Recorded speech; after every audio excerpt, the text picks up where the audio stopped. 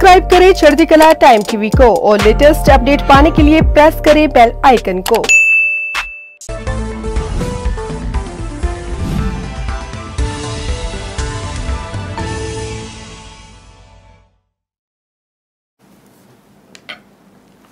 ਸਤਿ ਸ਼੍ਰੀ ਅਕਾਲ ਜੀ ਪ੍ਰੋਗਰਾਮ ਚਰਚਾ ਦੇ ਵਿੱਚ ਤੁਹਾਡਾ ਸਵਾਗਤ ਪਹਿਲੇ ਦਰਸ਼ਕੋ ਤੁਹਾਨੂੰ ਇਸ ਗੱਲ ਦਾ ਪਤਾ ਹੈ ਕਿ ਪਿਛਲੇ ਕੁਝ ਦਿਨਾਂ ਤੋਂ ਅਸੀਂ ਹਰ ਰੋਜ਼ ਦੋ ਜਿਹੜੇ ਲੋਕ ਸਭਾ ਹਲਕੇ ਲੈਨੇ ਆ ਉਹਨਾਂ ਤੇ ਐਨਾਲਿਸਿਸ ਕਰਦੇ ਆ।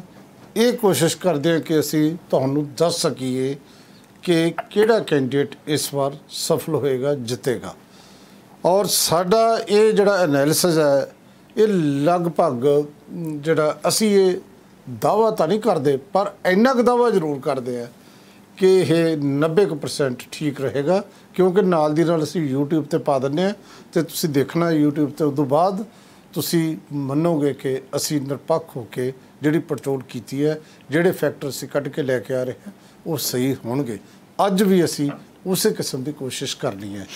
ਅੱਜ ਅਸੀਂ ਦੋ ਜਿਹੜੇ ਲੋਕ ਸਭਾ ਬਕਾਰੀ ਹਲਕੇ ਨੇ, ਉਹਨਾਂ ਦਾ ਜ਼ਿਕਰ ਕਰਨਾ ਹੈ, ਉਹਨਾਂ ਦਾ ਐਨਾਲਿਸਿਸ ਕਰਨਾ, ਉਹਨਾਂ ਦੀ ਪੜਚੋਲ ਕਰਨੀ ਹੈ। ਅੰਮ੍ਰਿਤਸਰ ਸਾਹਿਬ, ਗੁਰੂ ਕੀ ਨਗਰੀ ਔਰ ਦੂਸਰਾ ਗੁਰਦਾਸਪੁਰ। ਇੱਥੇ ਕਿਵੇਂ ਚੱਲ ਰਹੀ ਹੈ ਸਥਿਤੀ, ਕੌਣ ਜਿੱਤ ਸਕਦਾ ਇਹ ਤੇ ਅਸੀਂ ਗੱਲਬਾਤ ਕਰਨੀ ਹੈ। ਇਹ ਗੱਲਬਾਤ ਕਰਨ ਲਈ ਸਾਡੇ ਸਟੂਡੀਓ ਦੇ ਵਿੱਚ ਜਿਹੜੇ ਮਾਹਰ ਵਿਦਵਾਨ ਨੇ, ਉਹਨਾਂ ਨਾਲ ਤੁਹਾਡਾ ਤੌਰ ਕਰਾਵਾਂਗੇ ਫਿਰ ਅਸੀਂ ਦੇਖਾਂਗੇ। ਸਭ ਤੋਂ ਪਹਿਲਾਂ ਜਿਹੜੇ ਹੈ ਤੁਹਾਡਾ ਇੰਟਰੋਡਕਸ਼ਨ ਕਰਾਉਣਾ ਹੈ ਦਰਸ਼ਨ ਸਿੰਘ ਦਰਸ਼ਕ ਹੋਰਾਂ ਦੀ। ਦਰਸ਼ਕ ਸਾਹਿਬ, ਜਿਹੜਾ ਚੜ੍ਹਦੀ ਕਲਾ ਅਖਬਾਰ ਹੈ ਰੋਜ਼ਾਨਾ, ਉਹਦੇ ਐਡੀਟਰ ਨੇ ਸੀਨੀਅਰ ਪੱਤਰਕਾਰ ਨੇ। ਲਗਾਤਾਰ ਜਿਹੜੇ ਪ੍ਰਵਾਸੀ ਪੰਜਾਬੀ ਪੱਤਰਕਾਰ ਪਿਛਲੇ 20 25 ਸਾਲ ਤੋਂ ਜੁੜੇ ਹੋਏ ਨੇ। ਨਾਲ ਸਾਡੇ ਡਾਕਟਰ ਕੇਰ ਸਿੰਘ ਨੇ, ਕੇਰ ਸਿੰਘ ਹੋਰਾਂ ਬਾਰੇ ਤੁਸੀਂ ਜਾਣਦੇ ਹੋ। ਪੰਜਾਬ ਦੇ ਜਿਹੜੇ ਕੁਝ ਸਿਆਸੀ ਮਾਹਰ ਨੇ, ਉਹਨਾਂ ਚ ਉਹਨਾਂ ਦਾ ਨਾਮ ਹੈ। Doctor Ker Singh Punjab school education board ਦੇ ਚੇਅਰਮੈਨ ਰਹੇ ਨੇ ਔਰ ਪੰਜਾਬੀ ਯੂਨੀਵਰਸਿਟੀ ਪਟਿਆਲਾ ਦੇ ਜਿਹੜਾ ਰਾਜਨੀਤੀ ਵਿਭਾਗ ਆ, ਰਾਜਨੀਤੀ ਵਿਗਿਆਨ, ਉਹਦੇ ਮੁਖੀ ਰਹੇ ਨੇ, ਪ੍ਰੋਫੈਸਰ ਰਹੇ ਨੇ। ਤੇ ਨਾਲ ਸਾਡੇ ਸਰਦਾਰ ਗੁਰਦੀਪ ਸਿੰਘ ਨੇ। ਗੁਰਦੀਪ ਸਿੰਘ ਹੋਰੀ ਜਿਹਦਾ ਅੱਜ ਅਸੀਂ ਅੱਜ ਕਰ ਰਹੇ ਹਾਂ ਐਨਾਲਿਸਿਸ ਅੰਮ੍ਰਿਤਸਰ ਉੱਥੋਂ ਦੇ ਐਸਐਸਪੀ ਰਹੇ ਨੇ, ਤਰਨ ਤਾਰਨ ਦੇ ਵੀ ਐਸਐਸਪੀ ਰਹੇ ਨੇ ਔਰ ਏਆਈਜੀ ਰਿਟਾਇਰਡ ਨੇ ਤੇ ਅੱਜ ਕੱਲ ਸਿਆਸਤ ਤੇ ਜਿਹੜੀ ਹੈ ਦਿਲਚਸਪੀ ਰੱਖਦੇ ਨੇ, ਟਿੱਪਣੀਆਂ ਕਰਦੇ ਨੇ। ਤੁਹਾਡਾ ਸਭ ਦਾ ਸਵਾਗਤ ਜੀ। ਇਸ ਤੋਂ ਪਹਿਲਾਂ ਦਰਸ਼ਕ ਜੀ, ਮੈਂ ਤੁਹਾਡੇ ਕੋਲ ਆਵਾਂ। ਮੈਂ ਆਪਣੇ ਦਰਸ਼ਕਾਂ ਨੂੰ ਥੋੜਾ ਜਿਹਾ ਜਿਹੜਾ ਹੈ ਅੰਮ੍ਰਿਤਸਰ ਸਾਹਿਬ ਬਾਰੇ ਦੱਸਣਾ ਚਾਹੁੰਦਾ ਕਿ ਅੰਮ੍ਰਿਤਸਰ ਜਿਹੜੀ ਹੈ ਕੰਸਟੀਚੁਐਂਸੀ ਇਹਦੇ ਚ ਕਿਹੜੇ ਕਿਹੜੇ ਹਲਕੇ ਨੇ ਤੇ ਕੀ ਕਿਸ ਕਿਸਮ ਦੀ ਹੁਣ ਪੋਜੀਸ਼ਨ ਹੈ ਤੁਹਾਡੇ ਜਿਹੜੇ ਹੈ ਸਕਰੀਨ ਤੇ ਅਸੀਂ ਅੰਮ੍ਰਿਤਸਰ ਸਾਹਿਬ ਦੇਖ ਰਹੇ ਹਾਂ। ਦੇਖੋ ਅੰਮ੍ਰਿਤਸਰ ਸਾਹਿਬ ਦੇ ਵਿੱਚ ਜਿਹੜੇ ਵਿਧਾਨ ਸਭਾ ਹਲਕੇ ਨੇ ਉਹਨੇ Ajnala Raja Sansi Majithia Amritsar north Amritsar west Amritsar centre central Amritsar east Amritsar ਜਿਹੜਾ ਹੈ ਅਟਾਰੀ। South south Attari. ਇਹ ਸਾਡੇ ਜਿਹੜੇ ਹਲਕੇ ਨੇ ਤੇ ਇਹਨਾਂ ਦੇ ਵਿੱਚ ਜੇ ਅਸੀਂ ਅੱਜ ਦੀ ਪੋਜੀਸ਼ਨ ਦੇਖੀਏ ਤੇ ਜਿਹੜੇ ਸਿਟਿੰਗ ਐਮਪੀ ਨੇ, ਉਹ ਨੇ ਗੁਰਜੀਤ ਸਿੰਘ ਔਜਲਾ ਕਾਂਗਰਸ ਦੇ ਨੇ। ਤੇ ਜਿਹੜੇ ਹੁਣ ਲੋਕ ਸਭਾ ਚੋਣਾਂ ਲੜ ਰਹੇ ਨੇ, ਉਹਨਾਂ ਦੇ ਵਿੱਚੋਂ ਜਿਹੜੀ ਇਹ ਸੀਟ ਹੈ, ਇਹ ਜਿਹੜਾ ਗੱਠਜੋੜ ਹੈ ਭਾਰਤੀ ਜਨਤਾ ਪਾਰਟੀ ਤੇ ਅਕਾਲੀ ਦਲ ਦਾ, ਉਹਦੇ ਵਿੱਚ ਭਾਰਤੀ ਜਨਤਾ ਪਾਰਟੀ ਨੂੰ ਗਈ ਹੋਈ ਹੈ। ਭਾਰਤੀ ਜਨਤਾ ਪਾਰਟੀ ਵੱਲੋਂ ਹਰਦੀਪ ਸਿੰਘ ਪੁਰੀ ਨੂੰ ਜਿਹੜਾ ਹੈ ਆਪਣਾ ਕੈਂਡੀਡੇਟ ਬਣਾਇਆ ਗਿਆ ਹੈ। ਤੁਸੀਂ ਜਾਣਦੇ ਹੋ ਕਿ ਹਰਦੀਪ ਸਿੰਘ ਪੁਰੀ ਹਾਊਸਿੰਗ ਮੰਤਰੀ ਨੇ ਜਿਹੜੀ ਸਾਡੀ ਹੁਣ ਸਰਕਾਰ ਆ, ਭਾਰਤੀ ਜਨਤਾ ਪਾਰਟੀ ਦੀ ਮੋਦੀ ਸਰਕਾਰ, ਇਸ ਤੋਂ ਪਹਿਲਾਂ ਉਹ ਆਈਐਫਐਸ ਇੰਡੀਅਨ ਫੋਰਨ ਸਰਵਿਸ ਦੇ ਵਿੱਚ ਗਏ ਸੀ ਔਰ ਬਹੁਤ ਸਾਰੇ ਕੰਟਰੀਜ਼ ਦੇ ਵਿੱਚ ਰਹੇ ਡਿਪਲੋਮੈਟ ਦੇ ਤੌਰ ਤੇ ਯੂਐਨ ਦੇ ਵਿੱਚ ਵੀ ਉਹ ਰਹੇ। ਸੋ ਦੂਜੇ ਪਾਸੇ ਹਰਦੀਪ ਸਿੰਘ ਪੁਰੀ ਮੈਂ ਚਾਹੂੰਗਾ ਕਿ ਪਿਛਲਾ ਸਾਡੇ ਜਿਹੜੇ ਟੀਮ ਨੂੰ ਕਹਾਂਗਾ ਜਿਹੜੀ ਸ- ਪਿਛਲੀ ਸਲਾਈਡ ਆ ਉਹ ਦੁਬਾਰਾ ਦਿਖਾਉਣ ਤੇ ਉਹਦੇ ਵਿੱਚ ਤੁਸੀਂ ਦੇਖੋਗੇ ਕਿ ਗੁਰਜੀਤ ਸਿੰਘ ਔਜਲਾ ਜਿਹੜੇ ਸਾਡੇ ਅਮ, ਕਾਂਗਰਸ ਵੱਲੋਂ ਲੜ ਰਹੇ ਨੇ ਆਮ ਆਦਮੀ ਪਾਰਟੀ ਵੱਲੋਂ ਕੁਲਦੀਪ ਸਿੰਘ ਧਾਲੀਵਾਲ ਨੇ ਔਰ ਕਮਿਊਨਿਸਟ ਪਾਰਟੀ ਜਿਹੜੀ ਕਿ ਇਹ ਸੀਟ ਗਈ ਹੈ ਕਮਿਊਨਿਸਟ ਪਾਰਟੀ ਆਫ ਇੰਡੀਆ ਨੂੰ ਪੀਡੀਏ ਵੱਲੋਂ। ਪੰਜਾਬ ਡੈਮੋਕ੍ਰੈਟਿਕ ਅਲਾਈਅੰਸ ਦੀ ਇਹ ਹੈ ਜਸਵਿੰਦਰ ਕੁਮਾਰ ਇਹਦੇ ਵਿੱਚੋਂ ਉਹਨਾਂ ਦੇ ਕੈਂਡੀਡੇਟ ਨੇ। ਇਹ ਜਿਹੜੀ ਪੋਜੀਸ਼ਨ ਹੈ, ਇਸ ਵਾਰ ਦੀ ਹੈ। ਇਸ ਕੰਸਟੀਟਿਊਂਸੀ ਬਾਰੇ ਹੋਰ ਜੇ ਜਾਣਨਾ ਹੋਵੇ, ਤਾਂ ਅਸੀਂ ਦੇਖ ਸਕਦੇ ਹਾਂ ਜਿਹੜਾ ਅਜਨਾਲਾ ਕੰਸਟੀਟਿਊਂਸੀ ਹੈ। ਇਹਦੇ ਚ ਅੱਜ ਕੱਲ ਜਿਹੜਾ ਐਮਐਲਏ ਹੈ, ਉਹ ਹਰ ਪ੍ਰਤਾਪ ਸਿੰਘ ਹੈ, ਕਾਂਗਰਸ ਦਾ ਐਮਐਲਏ ਹੈ ਇਹ। ਤੇ ਰਾਜਾ ਸਾਂਸੀ ਤੋਂ ਸੁਖ ਸਰਕਾਰੀ ਹੈ, ਸੁਖਜਿੰਦਰ ਸਿੰਘ ਸਰਕਾਰੀ ਹੈ, ਇਹ ਵੀ ਕਾਂਗਰਸ ਦਾ ਸਿਰਫ ਮੇਰਾ ਖਿਆਲ ਹੈ, ਮਜੀਠਾ ਤੋਂ ਬਿਕਰ ਸਿੰਘ ਮਜੀਠੀਆ ਹੈ ਜਿਹੜੇ ਸ਼੍ਰੋਮਣੀ ਅਕਾਲੀ ਦਲ ਦੇ ਨੇ, ਬਾਕੀ ਕਾਂਗਰਸ ਦੇ ਨੇ। ਅੰਮ੍ਰਿਤਸਰ ਨਾਰਥ ਤੋਂ ਸੁਨੀਲ ਦੱਤੀ ਔਰ ਅੰਮ੍ਰਿਤਸਰ ਵੈਸਟ ਤੋਂ ਰਾਜਕੁਮਾਰ ਬੇਰਕਾ ਔਰ ਅੰਮ੍ਰਿਤਸਰ ਸੈਂਟਰ ਤੋਂ ਓਮ ਪ੍ਰਕਾਸ਼ ਸੋਨੀ, ਜਿਹੜੇ ਮੰਤਰੀ ਨੇ, ਸਿੱਖਿਆ ਮੰਤਰੀ ਨੇ ਔਰ ਅੰਮ੍ਰਿਤਸਰ ਈਸਟ ਤੋਂ ਨਵਜੋਤ ਸਿੰਘ ਸਿੱਧੂ, ਅੰਮ੍ਰਿਤਸਰ ਸਾਊਥ ਤੋਂ ਇੰਦਰਬੀਰ ਸਿੰਘ ਬੁਲਾਰੀਆ, ਇਹ ਵੀ ਕਾਂਗਰਸ ਦੇ ਨੇ ਔਰ ਤਰਸੇਮ ਸਿੰਘ ਜਿਹੜੇ ਡੀਸੀ ਇਹ ਅਟਾਰੀ ਤੋਂ ਤੁਸੀਂ ਹੁਣ ਦੇਖ ਸਕਦੇ ਹੋ ਕਿ ਕਾਂਗਰਸ ਦਾ ਇੱਥੇ ਜਿਹੜਾ ਜ਼ੋਰ ਜ਼ਿਆਦਾ ਨਜ਼ਰ ਆਉਂਦਾ ਹੈ, ਅੰਮ੍ਰਿਤਸਰ ਦੇ ਵਿੱਚ ਪਿਛਲੀ ਵਾਰ ਕੀ ਇਹਦੇ ਚ ਰਿਹਾ, ਇਹ ਆਪਾਂ ਦੇਖ ਸਕਦੇ ਹਾਂ। ਜਿਹੜੀਆਂ ਟੋਟਲ ਵੋਟਾਂ ਦੀ ਜੇ ਗੱਲ ਕਰੀਏ, ਮੇਲ ਵੋਟਾਂ 7 ਲੱਖ 79164 ਵੋਟਾਂ ਨੇ ਇੱਥੇ ਤੇ 6 ਲੱਖ 98 76 ਵੋਟਾਂ ਜਿਹੜੀਆਂ ਨੇ ਉਹ ਹੈਗੀਆਂ ਨੇ ਸਾਡੇ ਫੀਮੇਲ ਦੀਆਂ। ਤੇ ਨਾਲ ਜੇ ਥਰਡ ਜੈਂਡਰ ਦੀਆਂ ਵੋਟਾਂ ਨੇ ਉਹ ਸਿਰਫ 22 ਨੇ। ਇਹ ਮੈਂ ਬਾਰ-ਬਾਰ ਕਹਿਣਾ ਕਿ ਜਿਹੜੀਆਂ ਥਰਡ ਜੈਂਡਰ ਦੀਆਂ ਵੋਟਾਂ ਹਲੇ ਉਨੀਆਂ ਨਹੀਂ ਜਿਹਦੇ ਵਿੱਚ ਹੀ ਜਿਹੜੇ ਕਿਨਰਸ ਜਿਨ੍ਹਾਂ ਨੂੰ ਕਹਿੰਦੇ ਆ ਜਾਂ ਹੋਰ ਜਿਹੜੇ ਨੇ ਉਹ ਨਹੀਂ ਹਲੇ ਜ਼ਿਆਦਾ ਵੋਟਾਂ ਨਹੀਂ ਬਣਾ ਸਕੇ। ਸੋ ਇਹ ਪਿਛਲੀ ਵਾਰ ਜਦੋਂ ਅ, ਇਹਦਾ ਜੇ ਦੇਖੀਏ ਤਾਂ ਅਰੁਣ ਜੇਤਲੀ ਨੇ ਜਦੋਂ ਇਹ ਜਦੋਂ ਹਾਰਿਆ ਸੀ ਉਦੋਂ ਕੈਪਟਨ ਅਮਰਿੰਦਰ ਸਿੰਘ ਜਿੱਤੇ ਸੀ 47% ਤੋਂ ਵੱਧ ਵੋਟਾਂ ਸੀ ਉਹਨਾਂ ਦੀਆਂ। ਤੋਂ ਇਹ ਜਿਹੜੀ ਕਾਂਗਰਸ ਦੀ ਸੀਟ ਹੈ, ਸਿਰਫ ਇਹ ਉਸ ਵੇਲੇ ਜਦੋਂ ਨਵਜੋਤ ਸਿੰਘ ਸਿੱਧੂ ਨੂੰ ਅਟਲ ਬਿਹਾਰੀ ਭਾਈ ਵਾਜਪਾਈ ਲੈ ਕੇ ਆਏ ਸੀ ਉਸ ਵੇਲੇ ਭਾਰਤੀ ਜਨਤਾ ਪਾਰਟੀ ਨੇ ਲਗਾਤਾਰ ਇਹਤੇ ਜਿੱਤ ਪ੍ਰਾਪਤ ਕੀਤੀ ਸੀ ਤੇ ਨਹੀਂ ਅਸੀਂ ਦੇਖ ਸਕਦੇ ਹਾਂ ਕਿ ਇਹ ਸੀਟ ਜਿਹੜੀ ਹੈ ਕਾਂਗਰਸ ਦੇ ਹਿੱਸੇ ਰਹੀ। ਹੁਣ ਹਾਲਾਤ ਕਿਵੇਂ ਨੇ, ਇਹ ਦੇਖਣ ਵਾਲੀ ਗੱਲ ਹੈ। ਭਾਰਤੀ ਜਨਤਾ ਪਾਰਟੀ ਨੇ ਇੱਕ ਪੱਤਾ ਜ਼ਰੂਰ ਖੇਡਿਆ ਕਿ ਸਰਦਾਰ ਨੂੰ ਉੱਥੇ ਖੜਾ ਕੀਤਾ ਹਰਦੀਪ ਸਿੰਘ ਪੁਰੀ ਨੂੰ। ਸਿੱਖ ਵੋਟ ਅੰਮ੍ਰਿਤਸਰ ਦੇ ਵਿੱਚ ਕਾਫੀ ਹੈ। ਨੌਨ ਜੱਟ ਵੋਟ ਕਾਫੀ ਹੈ। ਕੀ ਪੋਲਰਾਈਜੇਸ਼ਨ ਇਸ ਕਿਸਮ ਦੀ ਹੋਏਗੀ? ਬਹੁਤ ਸਾਰੇ ਫੈਕਟਰ ਨੇ। ਕੱਲੇ ਕੱਲੇ ਫੈਕਟਰ ਅਸੀਂ ਦੇਖਣ ਦੀ ਕੋਸ਼ਿਸ਼ ਕਰਾਂਗੇ। ਫਿਰ ਅਸੀਂ ਕਿਸੇ ਨਿਰਣੇ ਤੇ ਪਹੁੰਚਾਂਗੇ ਕਿ ਕੀ ਅੰਮ੍ਰਿਤਸਰ ਦੇ ਹਾਲਾਤ ਕਿਸ ਪਾਸੇ ਨੂੰ ਜਾ ਰਹੇ ਨੇ, ਕਿਹੜੀ ਪਾਰਟੀ ਜਿੱਤ ਸਕਦੀ ਹੈ। ਕੀ ਲੱਗਦਾ ਹੈ ਦਰਸ਼ਨ ਜੀ, ਇਹ ਸਾਰੀ ਖੇਡ ਦੇ ਵਿੱਚ? ਵਾਲੀਆ ਸਾਹਿਬ, ਜਿਹੜੀ ਅੰਮ੍ਰਿਤਸਰ ਲੋਕ ਸਭਾ ਹਲਕਾ ਹੈ, ਇਹਦਾ ਜੇਕਰ ਜਦੋਂ ਚੋਣਾਂ ਤੋਂ ਪਹਿਲਾਂ ਇਹਨਾਂ ਦਾ ਆਪਸ ਅਕਾਲੀ ਭਾਜਪਾ ਗੱਠਜੋੜ ਦੇ ਵਿੱਚ ਇਹ ਲਗਾਤਾਰ ਵੈਸੇ ਤਾਂ ਇਹ ਅੰਮ੍ਰਿਤਸਰ ਸੀਟ ਜਿਹੜੀ ਹੈਗੀ ਹੈ ਭਾਜਪਾ ਨੂੰ ਦਿੱਤੀ ਜਾਂਦੀ ਹੈ। ਇਹ ਵੀ ਚੱਲ ਰਿਹਾ ਸੀ ਚਰਚਾ ਕਿ ਇਹ ਸੀਟ ਜਿਹੜੀ ਹੈਗੀ ਆ ਮਤਲਬ ਭਾਜਪਾ ਨੂੰ ਲੁਧਿਆਣਾ ਦੀ ਸੀਟ ਦੇ ਦਿੱਤੀ ਜਾਵੇ ਤੇ ਅਕਾਲੀ ਦਲ ਨੂੰ ਜਿਹੜੀ ਹੈਗੀ ਆ ਅੰਮ੍ਰਿਤਸਰ ਸੀਟ ਹੈ ਜੇਕਰ ਇਹ ਸੀਟ ਦੇ ਵਿੱਚ ਅਦਲਾ ਬਦਲੀ ਹੋ ਜਾਂਦੀ ਤਾਂ ਹੋ। ਸਕਦਾ ਕਿ ਇਹ ਨਤੀਜੇ ਕੁਝ ਹੋਰ ਹੁੰਦੇ। ਜਿਹੜੇ ਅੱਜ ਦਾ ਹਾਲਾਤ ਨੇ ਤੇ ਜਦੋਂ ਪਿਛਲੇ 2017 ਦੀਆਂ ਲੋਕ ਵਿਧਾਨ ਸਭਾ ਚੋਣਾਂ ਹੋਈਆਂ ਉਹਦੇ ਵਿੱਚ ਅਕਾਲੀ ਦਲ ਦਾ ਸਫਾਇਆ ਹੋਇਆ। ਸਿਰਫ ਇੱਥੇ ਇੱਕ ਮਜੀਠਾ ਹਲਕਾ ਹੈ ਜਿੱਥੇ ਮਜੀਠੀਆ ਜਿਹੜੇ ਹੈਗੇ ਵਿਧਾਇਕ ਨੇ। ਬਾਕੀ ਸਾਰਿਆਂ ਦੇ ਵਿੱਚ ਜਿਹੜਾ ਹੈਗਾ ਕਾਂਗਰਸ ਦਾ ਜ਼ੋਰ ਹੈ। ਪਰ ਨਾਲ ਨਾਲ ਇੱਕ ਜਿਹੜਾ ਹੈਗਾ ਭਾਜਪਾ ਦਾ ਗੱਠਜੋੜ ਅਕਾਲੀ ਦਲ ਹੈ ਉਹ ਜਿਹੜਾ ਰਾਣੀਕੇ ਨੇ ਅਟਾਰੀ ਤੋਂ ਉਹ ਵੀ ਜਿਹੜੇ ਕਿ ਹੈਗੇ ਫਰੀਦਕੋਟ ਤੋਂ ਚੋਣ ਲੜ ਰਹੇ ਨੇ। ਇਸ ਗੱਲ ਕਰਕੇ ਉੱਥੇ ਅਕਾਲੀ ਦਲ ਦਾ ਥੋੜਾ ਜਿਹਾ ਪ੍ਰਭਾਵ ਘਟ ਗਿਆ ਜਦ ਲੀਡਰ ਨਹੀਂ ਹੈਗਾ। ਇਸੇ ਤਰੀਕੇ ਨਾਲ ਜਿਹੜਾ ਅਜਨਾਲਾ ਹਲਕਾ ਹੈ ਭਾਵੇਂ ਕਿ ਉਹ ਹੈ ਤਾਂ ਕਾਂਗਰਸ ਦੇ ਕੋਲ ਹੈ, ਪਰ ਉੱਥੋਂ ਟਕਸਾਲੀ ਦੇ ਜਿਹੜਾ ਉਹਨਾਂ ਦੇ ਬੋਨੀ ਇੰਚਾਰਜ ਸੀਗਾ, ਉਹ ਵੀ ਟਕਸਾਲੀਆਂ ਦੇ ਨਾਲ ਰਲ ਗਿਆ। ਤੇ ਇਸ ਗੱਲ ਕਰਕੇ ਜਿਹੜੀ ਹੈਗੀ ਹੈ, ਇੱਥੇ ਜਿਹੜੀ ਭਾਜਪਾ ਹੈ, ਉਹ ਕਾਫੀ ਕਮਜ਼ੋਰ ਨਜ਼ਰ ਆ ਰਹੀ ਹੈ।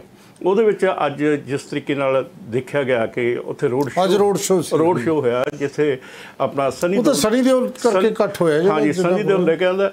ਤੇ ਉੱਥੇ ਇੱਕ ਗੱਲ ਦੇਖਣ ਨੂੰ ਇਹ ਮਿਲੀ ਕਿ ਜਿਹੜੀ ਜਿਹੜਾ ਰੋਡ ਸ਼ੋਅ ਸੀਗਾ ਉਹਦੇ ਵਿੱਚ ਹਿੰਦੂ ਭਾਈਚਾਰਾ ਜ਼ਿਆਦਾ ਸੀਗਾ ਸਿੱਖ ਭਾਈਚਾਰਾ ਘੱਟ ਸੀਗਾ। ਇੱਥੋਂ ਇਹ ਇਸ ਗੱਲ ਦਾ ਪ੍ਰਭਾਵ ਜਾ ਰਿਹਾ ਹੈ ਕਿ ਭਾਜਪਾ ਨੂੰ ਸਿੱਖ ਵੋਟ ਨਹੀਂ ਮਿਲ ਰਹੀ ਹੈਗੀ। ਤੇ ਇਹ ਇਸ ਗੱਲ ਕਰਕੇ ਭਾਜਪਾ ਲਗਾਤਾਰ ਡਾਊਨ ਵੀ ਜਾ ਰਹੀ ਹੈ ਪਰ ਕਾਂਗਰਸ ਦੇ ਖਿਲਾਫ ਦੋ ਇੱਕ ਗੱਲਾਂ ਇਹ ਵੀ ਨੇ ਜੀ। ਐਂਟੀ ਇਨਕੰਬੈਂਸੀ ਜਿਹੜਾ- ਜਿਹੜਾ ਫੈਕਟਰ ਪੂਰੇ ਪੰਜਾਬ ਦੇ। ਵਿੱਚ ਹੈ ਜੀ, ਉਹ ਜੀ।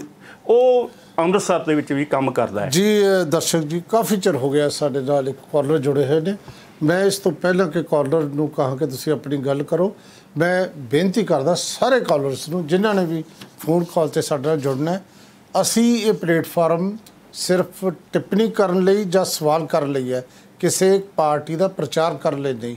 ਇਹ ਨਹੀਂ ਕਹਿਣਾ ਕਿ ਉਹਨੂੰ ਵੋਟ ਪਾਓ ਇਹ ਇਹ ਕਾਲਰ ਪਹਿਲੇ ਹੀ ਮਾਫ ਕਰਨ। ਹਾਂ ਜੇ ਤੁਹਾਡੇ ਮਨ 'ਚ ਕੋਈ ਸਵਾਲ ਹੈ ਜਾਂ ਤੁਹਾਡੇ ਕੋਲ ਕੋਈ ਐਸੀ ਟਿੱਪਣੀ ਹੈ ਜਿਹੜਾ ਕੋਈ ਬਹੁਤ ਵੱਡਾ ਫੈਕਟਰ ਹੈ ਜਿਹੜਾ ਚੋਣ ਨੂੰ ਪ੍ਰਭਾਵਿਤ ਕਰਦਾ ਉਹਦੀ ਗੱਲ ਕਰ ਸਕਦੇ ਹੋ।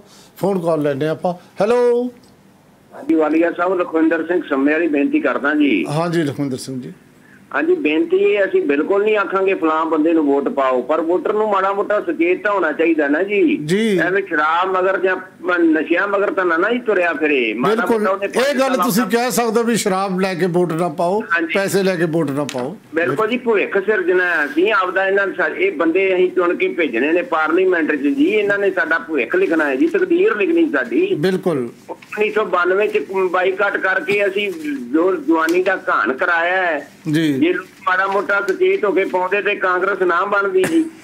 ਜੀ ਪਰ ਬਿਲਕੁਲ। ਹੁਣ ਉੱਥੇ ਹਰਦੀਪ ਪੁਰੀ ਜੀ ਨਵੇਂ ਨੇ ਔਜਲਾ ਸਾਹਿਬ ਫਿਰ ਵੀ ਲੋਕਾਂ ਨਾਲ ਜੁੜੇ ਹੋਏ ਨੇ ਐਵੇਂ ਹੀ ਗੁਰਦਾਸਪੁਰੇ ਜੀ ਹੁਣ ਸੈਲਫੀਆਂ ਨਾਲ ਵੋਟਾਂ ਨਹੀਂ ਮਿਲਣੀਆਂ ਜੀ। ਜੀ ਤੁਸੀਂ ਜੀ ਜਖਵਿੰਦਰ ਸਿੰਘ ਜੀ ਤੁਹਾਡਾ ਬਹੁਤ ਵਧੀਆ ਤਰੀਕਾ ਤੁਸੀਂ ਗੱਲ ਆਪਦੀ ਕਹਿ ਗਏ। ਤੇ ਤੁਹਾਡਾ ਬਹੁਤ ਬਹੁਤ ਸ਼ੁਕਰੀਆ। ਗੱਲ ਆਪਦੀ ਕਰ ਗਏ ਹੋ ਜਿਹੜੀ ਗੱਲ ਤੋਂ ਰੋਕਿਆ ਸੀ। ਤੇ ਡਾਕਟਰ ਸਾਹਿਬ ਡਾਕਟਰ ਕੇਰ ਸਿੰਘ ਕੀ ਲੱਗਦਾ ਤੁਹਾਨੂੰ? ਜਿਸ ਤਰ੍ਹਾਂ ਆਪਣੇ ਦਰਸ਼ਕ ਜੀ ਕਹਿ ਰਹੇ ਸੀਗੇ। ਇਹ ਦਰਸ਼ਕ ਜੀ ਜਾਂ ਕਾਲਰ? ਨਹੀਂ ਆਪਣੇ ਦਰਸ਼ਕ- ਦਰਸ਼ਕ ਜੀ। ਅੱਛਾ। ਇਹਦੇ ਚ ਮੈਂ ਜੋ ਇਹਨਾਂ ਨੇ ਕਿਹਾ ਇਹਨਾਂ ਨੂੰ ਸਿਰਫ ਇੱਕ ਦੋ ਗੱਲਾਂ ਸਪਲੀਮੈਂਟ ਕਰਨਾ ਚਾਹੁੰਦਾ ਜੀ। ਜੀ। ਉਹ ਦੋ ਐਕਸ ਫੈਕਟਰ ਜਿਹੜੇ ਹੈਗੇ ਨਾ ਜੀ ਐਕਸ ਹੁੰਦੇ ਆ ਵੀ ਜਿਹਦੇ ਬਾਰੇ ਕੋਈ ਯਕੀਨਨ ਤੌਰ ਤੇ ਕੋਈ ਕਿਹਾ ਨਹੀਂ ਜਾ ਸਕਦਾ। ਜਾ ਸਕਦਾ। ਉਹ ਮਤਲਬ ਹੁੰਦਾ ਹੈ ਵੀ ਕੋਈ ਚੱਲ ਰਹੀ ਹੁੰਦੀ ਸੁਭ ਗੁਬਾਹਟ ਅੰਡਰ ਕਰੰਟ ਜਿਸ ਨੂੰ ਆਪਾਂ ਕਹਿੰਦੇ ਆ ਪਰ ਉਹ ਜੇ ਜ਼ਾਰਾ ਤੌਰ ਤੇ ਸਾਹਮਣੇ ਨਹੀਂ ਆ ਰਹੀ ਹੁੰਦੀ। ਇੱਕ ਤੇ ਇਹ ਹੈਗਾ ਵੀ ਇਸ ਵੇਲੇ ਜਿਹੜਾ ਮੋਦੀ ਸਾਹਿਬ ਦਾ ਫੈਕਟਰ ਜਿਹੜਾ ਹੈਗਾ ਕਿ ਹਿੰਦੂ ਮਾਈਂਡ ਹੈ ਅਰਬਨ ਹਿੰਦੂ ਮਾਈਂਡ ਹੂੰ ਹੂੰ। ਮੇਰੀ ਜਾਣਕਾਰੀ ਮੁਤਾਬਕ ਥੋੜਾ ਜਿਹਾ ਪ੍ਰੋ ਮੋਦੀ ਹੈਗਾ। ਅੱਛਾ। ਜਿਹੜੀ ਮੇਰੀ ਜਾਣਕਾਰੀ ਹੈ ਔਰ ਖਾਸ ਕਰਕੇ ਮਿਡਲ ਕਲਾਸ ਅੱਛਾ। ਮਿਡਲ ਕਲਾਸ ਦਾ ਜਿਹੜਾ ਵਪਾਰੀ ਵਰਗ ਹੈ। ਮਤਲਬ ਤੁਹਾਡਾ ਇਹ ਕਿ ਜਿਹੜਾ ਜੇ ਇਹ ਹੈ ਤਾਂ ਜਿਹੜਾ ਇਹ ਮਿਡਲ ਕਲਾਸ ਸਿੰਧੂ ਹੈ ਹਾਂ। ਉਹ ਐਂਟੀ ਕਾਂਗਰਸ ਹੈ ਫਿਰ ਇਹ ਤਾਂ ਇਹ ਇੱਕ ਫੈਕਟਰ ਐਂਟੀ ਦੀ ਨਹੀਂ ਜੀ। ਉਹ ਪ੍ਰੋ ਯਾਨੀ ਕਿ ਲੱਗਦਾ ਉਹਦਾ ਝੁਕਾ ਐਂਟੀ ਉਂਟੀ ਛੱਡੋ ਕਿਹਦੇ ਹੈਗੇ ਨੇ? ਇੱਕ ਗਿਵਨ ਸਿਚੁਏਸ਼ਨ 'ਚ ਉਹਨਾਂ ਨੂੰ ਲੱਗਦਾ ਹੈ ਕਿ ਇੱਥੇ ਸਾਡਾ ਯਾਨੀ ਕਿ ਇਸ ਬੰਦੇ ਨੂੰ ਐਸ ਸਿਚੁਏਸ਼ਨ ਸਪੋਰਟ ਮਤਲਬ ਤੁਸੀਂ ਹਰਦੀਪੁਰੀ ਦੇ ਹਵਾਲੇ ਨਾਲ ਗੱਲ ਕਰ ਰਹੇ ਕਰਨਾ ਨਹੀਂ ਹਰਦੀਪੁਰੀ ਕੈਂਡੀਡੇਟ ਨਹੀਂ ਮੈਂ ਮੋਦੀ ਦੀ ਗੱਲ ਕਰ ਰਿਹਾ। ਹੋ। ਅੱਛਾ ਮੋਦੀ ਦੇ। ਅੱਛਾ ਉਹਦੇ ਵਿੱਚ ਪਰ ਇੱਕ ਗੱਲ ਜਿਹੜੀ ਹੈ ਪਹਿਲਾਂ ਹੀ ਮੈਂ ਹੁਣ ਗੱਲ ਕਰ ਰਿਹਾ ਸਰਦਾਰ ਗੁਰਦੀਪ ਸਿੰਘ ਹੁਣਾਂ ਨੂੰ ਮੇਰੇ ਨਾਲ ਹੀ ਬੈਠੇ ਹੈ। ਜੀ। ਇਹਦੇ ਵਿੱਚੋਂ ਵੀ ਫਰਦਰ ਡਿਵੀਜ਼ਨ ਹੋ ਸਕਦੀ ਹੈ। ਇਹ ਗੱਲ ਮਾਲਵੇ ਵਿੱਚ ਜ਼ਿਆਦਾ ਹੈ। ਮਾਲਵੇ ਵਿੱਚ ਕਾਸਟ ਕੰਬੀਨੇਸ਼ਨ ਹੋਰ ਹੈ। ਮਾਝੇ ਵਿੱਚ ਹਿੰਦੂ ਸਮਾਜ ਦੀ ਕਾਸਟ ਕੰਬੀਨੇਸ਼ਨ ਥੋੜੀ ਜਿਹੀ ਵੱਖਰੀ ਹੈ। ਉੱਥੇ ਸ਼ਾਇਦ ਇਹ ਫੈਕਟਰ ਇੰਨਾ ਭਾਰੂ ਨਾ ਹੋਵੇ ਕਿਉਂਕਿ ਮੇਰੇ ਕੋਲ ਫੀਡਬੈਕ ਜਿਹੜੀ ਬਹੁਤੀ ਹੈ ਉਹ ਮਾਲਵੇ ਦੇ ਇਸ ਬੈਲਟ ਦੀ ਹੈਗੀ ਜੀ। ਸੋ ਇਹ ਐਕਸ ਫੈਕਟਰ ਮੈਂ ਤਾਂ ਕਹਿ ਰਿਹਾ ਜੀ ਇਹ। ਵੀ ਭਲਾ ਇਹ ਉੱਥੇ ਵੀ ਆਪਰੇਟਿਵ ਹੋ ਰਿਹਾ ਕਿ ਨਹੀਂ ਹੋ ਜੇ- ਰਿਹਾ ਜੇ ਆਪਰੇਟਿਵ ਹੋ ਰਿਹਾ ਤਾਂ ਇਹ ਪੂਰੀ ਦੇ ਲਈ ਹੈਲਪਫੁਲ ਰਹੂਗਾ। ਜੀ। ਦੂਸਰੀ ਚੀਜ਼ ਜਿਹੜੀ ਹੈਗੀ ਹੈ ਉਹ ਹੈਗੀ ਹੈ ਕਿ ਰੂਲਿੰਗ ਪਾਰਟੀ ਦੀ ਫੈਕਸ਼ਨਲਿਜ਼ਮ। ਹੂੰ। ਉਹ ਕਾਂਗਰਸ ਹੈ ਯਾਨੀ ਕਿ ਆਪਣੇ ਪੰਜਾਬ ਦੇ ਵਿੱਚ। ਹੂੰ। ਉਹ ਕਿਸ ਹੱਦ ਤੱਕ ਮੈਨੇਜ ਹੋ ਗਈ ਹੋਈ ਹੈ? ਜੇ ਤੇ ਉਹ ਮੈਨੇਜ ਹੋ ਗਈ ਹੈ ਜਿਹੜੀ ਅੰਮ੍ਰਿਤਸਰ ਦੀ ਬਾਹਰ ਨਜ਼ਰ ਨਹੀਂ ਆਉਂਦੀ। ਜ਼ਾਰਾ ਤੌਰ ਤੇ ਉੱਥੇ ਨਹੀਂ ਜਿਵੇਂ ਫਿਰੋਜ਼ਪੁਰ ਚ ਆ ਰਹੀ ਹੈ ਉੱਥੇ ਨਹੀਂ ਨਜ਼ਰ ਆ ਤੁਸੀਂ ਬਿਲਕੁਲ ਠੀਕ ਕਹਿ ਰਹੇ। ਹੋ। ਜ਼ਾਰਾ ਤੌਰ ਤੇ ਉੱਥੇ ਲੱਗਦਾ ਹੈ ਕਿ ਉੱਥੋਂ ਦੀ ਫੈਕਸ਼ਨਲਿਜ਼ਮ ਮੈਨੇਜ ਹੋ ਚੁੱਕੀ ਹੋਈ ਹੈ ਉੱਥੇ ਇਹੋ ਜੀ ਕੋਈ ਗੱਲ ਹੈ ਨਹੀਂ। ਸੋ ਇਹਨਾਂ ਗੱਲਾਂ ਨੂੰ ਧਿਆਨ ਵਿੱਚ ਰੱਖਦੇ ਔਰ ਦੂਸਰੀ ਗੱਲ ਜਿਹੜੀ ਇਹਨਾਂ ਨੇ ਮੁੱਢ 'ਚ ਹੀ ਕਹੀ ਸੀਗੀ ਦਰਸ਼ਕ ਜੀ ਨੇ ਕਿ ਉੱਥੇ ਬੀਜੇਪੀ ਦਾ ਕੈਂਡੀਡੇਟ ਹੈ। ਉਹ ਕਨਸਟੀਚੁਐਂਸੀ ਸਿੱਖ ਮੈਜੋਰਿਟੀ ਹੈ। ਸਿੱਖ ਮਾਨਸਿਕਤਾ ਦੇ ਵਿੱਚ ਬੀਜੇਪੀ ਪ੍ਰਤੀ ਸਵਾਲੀਆ ਫਿਕਰਾ ਲੱਗਦਾ। ਹੈ। ਸਵਾਲੀਆ ਚਿੰਨ੍ਹ ਲੱਗਦਾ। ਹੈ ਸੋ ਇਸ ਕਰਕੇ ਉੱਥੇ ਕਾਂਗਰਸ ਦਾ ਹੀ ਹੱਥ ਭਾਰੂ ਰਹਿਣ ਦੀ ਸੰਭਾਵਨਾ ਵਧੇਰੇ ਹੈ। ਇਹ ਸਾਰੇ ਫੈਕਟਰ ਜਿਹੜੇ ਮੈਂ ਐਕਸ ਫੈਕਟਰ ਕਹੇ ਹੈ ਉਹ ਵੀ ਸ਼ਾਇਦ ਜਿਹੜੇ ਅਕਾਲੀ ਅਕਾਲੀ ਨੇ ਉਹ ਨਹੀਂ ਜਾਣਗੇ ਹਰਦੀਪੁਰੀ ਨਹੀਂ ਉਹ ਅਕਾਲੀ ਸਪੋਰਟ ਕਰਨਗੇ। ਪਰ ਉੱਥੇ ਦੇਖੋ ਗੱਲ ਇਹ ਕਿਉਂਕਿ ਉੱਥੇ ਜਿਹੜੀਆਂ ਕਨਸਟੀਚੁਐਂਸੀਜ਼ 8 ਜਿਸ ਤਰ੍ਹਾਂ ਇਹਨਾਂ ਨੇ ਕਿਹਾ ਦਰਸ਼ਕ ਜੀ ਨੇ ਉੱਥੇ 8 ਐਮਐਲਏ ਆਲਰੇਡੀ ਕਾਂਗਰਸ ਦੇ। ਹੈਗੇ ਆ ਜੀ। ਸੋ ਉਹ ਖਾਸ ਕਰਕੇ ਰੂਰਲ ਬੈਲਟ ਦੇ ਵਿੱਚ ਇੱਕ ਉਹ ਜਿਹੜੀ ਤੁਸੀਂ ਪਹਿਲਾਂ ਮੁੱਢ 'ਚ ਵੀ ਗੱਲ ਕਹੀ ਸੀ ਕਾਸਟ ਕੰਬੀਨੇਸ਼ਨ ਦੀ ਗੱਲ ਵੀ ਹੁੰਦੀ ਹੈ। ਜੱਟ ਤੇ ਗੈਰ ਜੱਟ ਦਾ ਸਵਾਲ। ਵੀ ਹੈ ਪੂਰੀ। ਸਾਹਿਬ ਗੈਰ ਜੱਟ ਨੇ ਔਰ ਉਹ ਇੱਕ ਜਿਹੜਾ ਜੱਟ ਐਲੀਮੈਂਟ ਹੈ ਨਾ ਜਿਹੜਾ ਉੱਥੇ ਜੱਟ ਭਾਰੂ ਹੈ। ਉਸ ਕਨਸਟੀਚੁਐਂਸੀ 'ਚ ਤਾਂ ਉਹਦੇ ਕਰਕੇ ਮੈਨੂੰ ਲੱਗਦਾ ਹੈ ਕਿ ਸੰਭਾਵਨਾ ਔਜਲਾ ਸਾਹਿਬ ਦੇ ਜਿੱਤਣ ਦੀ ਜ਼ਿਆਦਾ ਹੈ ਪੂਰੀ ਨਾਲ ਜੀ ਇੱਕ ਵਾਰੀਆ ਸਾਹਿਬ ਇੱਕ ਛੋਟਾ ਜਿਹਾ ਮੈਂ ਫੈਕਟਰ ਹੋਰ ਵੀ ਦੱਸਦਾ। ਉੱਥੇ ਜਿਹੜਾ ਦੁਸਹਿਰੇ ਦਾ ਹਾਦਸਾ ਵਾਪਰਿਆ ਜਿਹਦੇ ਵਿੱਚ ਬਹੁਤ ਸਾਰੇ ਬੰਦੇ ਮਾਰੇ ਗਏ ਤੇ ਉਹ ਫੈਕਟਰ ਵੀ ਕਾਂਗਰਸ ਦੇ ਖਿਲਾਫ ਕਿਤੇ ਕਿਤੇ ਜਾ ਵੀ ਸਕਦਾ ਹੈ ਉਹ ਜਿਹੜਾ ਹੈਗਾ। ਵੋਟਰਾਂ ਦੇ ਮਨ ਦੇ ਵਿੱਚ ਜਿਹੜਾ ਹੈਗਾ। ਭਾਵੇਂ ਥੋੜਾ ਜਾਵੇ ਪਰ ਕਾਂਗਰਸ ਦੇ ਖਿਲਾਫ ਵੀ ਜਾ ਸਕਦਾ ਪਰ ਉੱਥੇ ਇੱਕ ਹੋਰ ਗੱਲ ਹੈ ਕਿ ਬੀਜੇਪੀ ਦੀ ਜਿਹੜੀ ਫੈਕਸ਼ਨਲਿਜ਼ਮ ਹੈ ਜਿਹੜੀ ਕਾਂਗਰਸ ਦੀ ਮੈਨੇਜ ਹੋ ਗਈ ਲੱਗਦੀ ਹੈ ਬੀਜੇਪੀ ਦੀ ਨਹੀਂ ਹੋਈ। ਨਹੀਂ ਹੋਈ। ਜੀ ਪਰ ਉਹੀ ਗੱਲ ਹੈ ਨਾ। ਉੱਥੇ- ਉਹ ਬਾਹਰੀ ਕੈਂਡੀਡੇਟ ਵੀ ਮੰਨਦੇ ਨੇ ਇਹਨੂੰ ਤੇ ਉਹਨੂੰ ਸਰਦਾਰ ਕੈਂਡੀਡੇਟ ਕਰਕੇ ਵੀ। ਉੱਥੇ ਨਹੀਂ ਇਹ ਗੱਲ ਮਿਲਾ ਕੇ। ਮੈਨੂੰ ਲੱਗਦਾ ਹੈ ਕਿ ਔਜਲਾ ਸਾਹਿਬ ਕਾਂਗਰਸ ਵਾਲਿਆਂ ਦਾ ਉੱਥੇ ਕਾਫੀ ਐਜ ਨਜ਼ਰ ਆਉਂਦਾ। ਇੱਕ ਹੋਰ ਵੀ ਗੱਲ ਜਿਹੜੀ ਹੈ ਇਹ ਨਹੀਂ ਲੱਗਦੀ ਡਾਕਟਰ ਸਾਹਿਬ ਕਿ ਉੱਥੇ ਜਿਸ ਤਰ੍ਹਾਂ ਨਵਜੋਤ ਸਿੱਧੂ ਜਦੋਂ ਭਾਰਤੀ ਜਨਤਾ ਪਾਰਟੀ ਸੀ ਉਹਦਾ ਇੱਕ ਆਪਣਾ ਕਿਰਦਾਰ ਆਪਣੀ ਪਰਸਨੈਲਿਟੀ ਤੇ ਹਰਦੀਪ ਪੁਰੀ ਉਸ ਤਰ੍ਹਾਂ ਦੇ ਬੁਲਾਰੇ ਨਹੀਂ ਉਸ ਤਰ੍ਹਾਂ ਦੀ ਉਹਨਾਂ ਦੀ ਬੈਕਗ੍ਰਾਉਂਡ ਨਹੀਂ ਇਹ ਵੀ ਇੱਕ ਫੈਕਟਰ ਹੈ। ਤੁਸੀਂ ਬਿਲਕੁਲ ਠੀਕ ਹੈ। ਤੋਂ ਕਈ ਫੈਕਟਰ ਨੇ ਜਿਹੜੇ ਕੁਝ ਹੋਰ ਗੱਲਾਂ ਵੀ ਨੇ ਤੇ ਜਿਹੜੇ ਸਾਡੇ ਤੀਸਰੇ ਪੈਨਲਿਸਟ ਨੇ ਇਹ ਉੱਥੇ ਐਸਐਸਪੀ ਰਹੇ ਨੇ। ਤੇ ਮੇਰਾ ਖਿਆਲ ਹੈ ਇਹਨਾਂ ਕੋਲ ਅੰਦਰਲੀ ਵੀ ਖਬਰ ਹੋਏਗੀ ਵੀ ਉੱਥੇ ਕੀ ਚੱਲਦਾ ਰਹਿੰਦਾ ਜਾਂ ਕਿਸ ਕਿਸਮ ਦੀ ਕਹਾਣੀ, ਕੀ ਉੱਥੇ ਨਸ਼ੇ ਵੀ ਚੱਲਦੇ ਨੇ, ਕੀ ਉੱਥੇ ਜਿਵੇਂ ਹੋਰ ਪੰਜਾਬ ਦੇ ਮਾਲਵੇ ਸੀਟਾਂ 'ਚ ਪੈਸਾ ਚੱਲਦਾ ਕੀ ਉੱਥੇ ਵੀ ਇਹੋ ਜਿਹਾ ਕੁਝ ਹੁੰਦਾ ਦਰਸ਼ਨ ਸਿੰਘ ਦਰਸ਼ਕ ਔਰ ਡਾਕਟਰ ਕੇਰ ਸਿੰਘ। ਇਹਨਾਂ ਦਾ ਖਿਆਲ ਹੈ ਕਿ ਜਿਸ ਤਰ੍ਹਾਂ ਦੇ ਹਾਲਾਤ ਨੇ, ਉਹਦੇ 'ਚ ਔਜ਼ਲਾ ਜਿਹੜਾ ਹੈ, ਹਾਲ ਦੀ ਘੜੀ ਅੱਗੇ ਚੱਲ ਰਿਹਾ ਹੈ। ਤਿੰਨ ਦਿਨ ਪਏ ਨੇ 19 ਨੂੰ ਇਲੈਕਸ਼ਨ ਹੈ। ਲੇਕਿਨ ਜਿਹੜੇ ਫੈਕਟਰ ਉਹਨਾਂ ਨੇ ਦੱਸੇ ਨੇ ਕਿ ਇਸ ਤੋਂ ਇਲਾਵਾ ਵੀ ਕੋਈ ਹੋਰ ਫੈਕਟਰ ਨੇ ਜਿਹਦੇ ਕਰਕੇ ਔਜ਼ਲੇ ਨੂੰ ਜਿੱਤ ਵੱਲ ਦਿਖਾਇਆ ਜਾ ਰਿਹਾ ਹੈ ਇਹ ਆਪਾਂ ਜਾਣਦੇ ਹਾਂ ਅਹ ਜਿਹੜੇ ਗੁਰਦੀਪ ਸਿੰਘ ਹੋਰਾਂ ਤੋਂ। ਜਿਵੇਂ ਮੈਂ ਤੁਹਾਨੂੰ ਦੱਸਿਆ ਸੀ ਗੁਰਦੀਪ ਸਿੰਘ ਹੋਰੀ ਉਸ ਕੰਸਟੀਚੁਐਂਸੀ ਨੂੰ ਬਹੁਤ ਚੰਗੀ ਤਰ੍ਹਾਂ ਜਾਣਦੇ ਨੇ। ਇੱਕ ਐਸਐਸਪੀ ਨੂੰ ਸਭ ਕੁਝ ਪਤਾ ਹੁੰਦਾ ਹੈ ਕਿ ਅੰਦਰ ਬਾਹਰ ਕੀ ਹੁੰਦਾ ਹੈ। ਕੀ ਲੱਗਦਾ ਗੁਰਦੀਪ ਸਿੰਘ ਜੀ ਉੱਥੇ? ਵਾਲੀ ਸਾਹਿਬ ਦੇ ਵਿੱਚ ਰੱਖਿਆ ਜਾਵੇ ਟੋਟਲ 606 ਵਿਲੇजेस ਹੈਗੇ ਜੀ।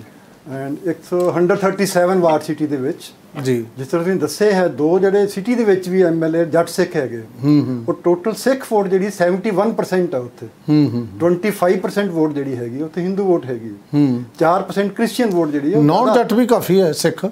25 ਹੋ ਗਏ ਨਹੀਂ ਹਾਂ ਉਹੀ- 25% ਮੈਂ ਕਿਹਾ। ਜਿਹੜੀ 71% ਵੋਟ ਹੈ ਮੈਜੋਰਟੀ ਪਿੰਡਾਂ ਵਿੱਚ ਬੈਠੀ ਹੋਈ ਹੈ। ਦੋ ਹਲਕੇ ਜਿਹੜੇ ਸਿਟੀ ਦੇ ਹੈਗੇ ਉਹ ਜੱਟ ਸਿੱਖ ਜਿੱਤੇ। ਹੂੰ ਹੂੰ। ਸਿੱਧੂ ਸਾਹਿਬ ਸੁਖੇ। ਰੰਧਾਵਾ ਹੈ। ਹਾਂਜੀ। ਸੁਖਜਿੰਦਰ ਰੰਧਾਵਾ ਵੀ ਤਾਂ ਉੱਥੇ ਹੈ। ਨਹੀਂ ਨਹੀਂ। ਨਹੀਂ ਉੱਥੇ ਨਹੀਂ ਹੈ ਜੀ। ਸਿਟੀ ਦੀ ਮੈਂ ਗੱਲ ਕਰ ਰਿਹਾ। City, ਅੱਛਾ। ਅੰਮ੍ਰਿਤਸਰ ਸਿਟੀ ਜੀ ਅੰਮ੍ਰਿਤਸਰ। ਮਿਸਟਰ ਨਵਜੋਤ ਸਿੱਧੂ ਹੈਗੇ ਉੱਥੇ ਈਸਟ ਹਾਂ, ਹਾਂ, east ਦੇ ਤੇ ਵਿੱਚ ਸਾਊਥ ਤੋਂ। ਇੰਦਰ। ਮਿਸਟਰ ਬੁਲਾਰੀਆ ਹੈ। ਇੰਦਰਜੀਤ ਸਿੰਘ ਬੁਲਾਰੀਆ ਹੈਗੇ। ਜੀ ਜੀ। ਜੇ 25% ਹਿੰਦੂ ਇੱਕ ਪਾਸੇ ਚਲਾ ਜਾਂਦਾ ਹੈਗਾ ਕਿਉਂਕਿ ਬੀਜੇਪੀ ਨਾਲ ਚਲਾ ਗਿਆ ਪਰ ਜਿਹੜਾ 71% ਹੈਗਾ ਵੋਟ ਉਹ ਡਿਵਾਈਡ ਹੋਏਗੀ ਫਿਰ ਵੀ 7 35 35% ਬਣ ਜਾਂਦਾ। ਜਿਹੜੀ ਤੁਸੀਂ ਗੱਲ ਕੀਤੀ ਸੀਗੀ ਕਿ ਮਿਸਟਰ ਨਵਜੋਤ ਸਿੱਧੂ ਜਿੱਦੇ ਆਏ ਸੀ ਜੇ ਤੁਸੀਂ ਦੇਖੋਗੇ ਉਹ ਪਿੰਡਾਂ 'ਚ ਜ਼ਿਆਦਾ ਜਿੱਦੇ ਸੀ। ਮਜੀਠੇ 'ਚ ਲੀਡ ਜ਼ਿਆਦਾ ਲੈ ਕੇ ਜਾਂਦੇ ਸੀ ਟਾਰੀ 'ਚ ਲੀਡ ਜ਼ਿਆਦਾ ਲੈ ਕੇ ਜਾਂਦੇ ਸੀ ਅਜਨਾਲੇ ਹਲਕੇ 'ਚ ਲੀਡ ਲੈ ਕੇ ਜਾਂਦੇ। ਸੀ। ਪਰ ਜੋ ਹੁਣ ਪੋਜੀਸ਼ਨ ਉੱਥੇ ਬਣੀ ਹੋਈ ਹੈ ਇਹ ਕਾਲੀ ਐਮਐਲਏ ਇੱਕ ਹੈ। ਉਹ ਵੀ ਬਾਹਰ ਹੈਗੇ ਉੱਥੇ ਆਪਣੇ ਹਲਕੇ 'ਚ ਬਹੁਤ ਘੱਟ ਜਾ ਰਹੇ ਆ। ਬਠਿੰਡਾ ਐਂਡ ਫਿਰੋਜ਼ਪੁਰ 'ਚ ਉਹਨਾਂ ਦੇ ਡੇਰੇ ਲੱਗੇ ਹੋਏ ਆ। ਅਟਾਰੀ ਵਾਲੇ ਐਮ ਜਿਹੜੇ ਉੱਥੇ ਅਕਾਲੀ ਕੈਂਡੀਡੇਟ ਸੀਗੇ ਉਹ ਫਰੀਦਕੋਟ ਤੋਂ ਇਲੈਕਸ਼ਨ ਲੜ ਰਹੇ ਆ। ਜਿਹੜੇ ਅਜਨਾਲੇ ਦੇ ਲੀਡਿੰਗ ਲੀਡਰ ਸੀ ਉੱਥੇ ਅਕਾਲੀ ਦਲ ਦੇ ਉਹ ਅਸਲੇ ਟਕਸਾਲੀ ਅਕਾਲੀ ਦਲ ਤੇ ਜਾ ਚੁੱਕੇ ਹੈਗੇ ਆ। ਸੋ ਓਵਰਆਲ ਜਿਹੜੀ ਸਿਚੁਏਸ਼ਨ ਬਣਦੀ ਹੈ ਉਹ ਕਾਂਗਰਸ ਦੇ ਹੱਕ ਵਿੱਚ ਹੀ ਜਾਂਦੀ ਹੈ।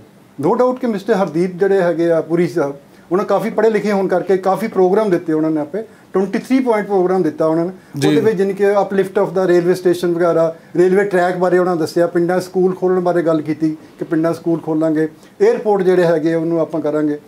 ਹੋਰ ਜਿਹੜੇ ਸ਼ਹਿਰੀ ਸਿੱਖ- ਸਿਟੀ ਵਿੱਚ ਜਿਹੜਾ ਸਮਾਰਟ ਸਿਟੀ ਵਿੱਚ ਮੇਰਾ ਸਵਾਲ ਹੈ- ਐਜੂਕੇਸ਼ਨ ਦੀ ਗੱਲ ਕੀਤੀ ਜੀ ਮੇਰਾ ਸਵਾਲ ਹੈ ਕਿ ਸ਼ਹਿਰੀ ਸਿੱਖ ਉਹਨਾਂ ਦੀ ਮਦਦ ਕਰਨਗੇ ਸਿਟੀ ਹਾਂ ਸਾਰੀ ਸ਼ਹਿਰੀ ਸਿੱਖਣ ਦੀ ਮਦਦ ਕਰ ਰਿਹਾ ਉਹ ਅੱਛਾ। ਲੋਕੀ ਓਪਨਲੀ ਕਹਿ ਰਹੇ ਕਿ ਅਸੀਂ ਤੇਣਾ ਮਿਸਟਰ ਹਰਦੀਪ ਪੁਰੀ ਨਾਲ ਬਚ ਜਾਵਾਂਗੇ ਇਸ ਦੇ। ਬਾਵਜੂਦ ਵੀ ਤੁਹਾਨੂੰ ਲੱਗਦਾ ਹੈ ਕਿ ਜਿਹੜੀ ਉਹਨਾਂ ਦੇ ਜਿੱਤਣ ਵਾਲੀ ਪੋਜੀਸ਼ਨ ਹਾਲੇ ਜਿੱਤਣ ਵਾਲੀ ਪੋਜੀਸ਼ਨਸ ਨਹੀਂ ਹੈਗੇ ਓਵਰਆਲ ਜਾਨੀ ਕਿ ਕਾਂਗਰਸ ਦੇ ਹੱਥ ਵਿੱਚ ਜਾ ਰਿਹਾ ਹੈਗਾ ਕਿਉਂਕਿ ਉਹ ਪਿੰਡਾਂ 'ਚ ਜਾ ਰਿਹਾ ਸੀ ਕਾਂਗਰਸ ਦੇ ਐਮਐਲਏ ਲੱਕਾਂ ਦਾ ਕੰਮ ਵੀ ਕਰ ਰਿਹਾ ਸੀ ਫੰਡ ਵੀ ਵੰਡ ਰਿਹਾ ਸੀ ਔਰ ਜੰਗ ਹੋਣ ਕਰਕੇ ਉਹਨੇ ਕੰਮ ਕਾਫੀ ਕੀਤੇ ਸੀ ਜੀ, ਗੁਰਦੀਪ ਸਿੰਘ ਦੂਜਾ ਜੀ। ਜਿਹੜਾ ਮਿਸਟਰ ਹਰਦੀਪੁਰੀ ਦਾ ਅਗੇਂਸਟ ਜਾ ਰਿਹਾ ਜਿਹੜੇ ਉੱਥੇ ਕੈਂਡੀਡੇਟ ਸੀ ਬੀਜੇਪੀ ਦੇ ਲੋਕਲ ਜੀ। ਉਹ ਵੀ ਇੰਨੇ ਐਕਟਿਵ ਨਹੀਂ ਹੋਏ ਜੀ। ਕਿ ਮਿਸਟਰ ਹਰਦੀਪੁਰੀ ਉਹ ਬਾਹਰੋਂ ਆਏ ਨੇ ਕਈ ਕਈ ਕਈ ਕਾਰਨ ਹੋ ਸਕਦੇ ਉੱਥੇ ਬਿਲਕੁਲ ਇੱਕ ਫੋਨ ਕਾਲ ਲੈ ਲਈਏ ਕਾਫੀ ਚਿਰ ਤੋਂ ਸਾਡੇ ਜੁੜੇ ਨੇ ਹੈਲੋ ਹੈਲੋ ਸਤਿ ਸ਼੍ਰੀ ਅਕਾਲ ਵਾਲੀਆ ਸਾਹਿਬ ਜੀ। ਸਤਿ ਸ਼੍ਰੀ ਅਕਾਲ ਜੀ।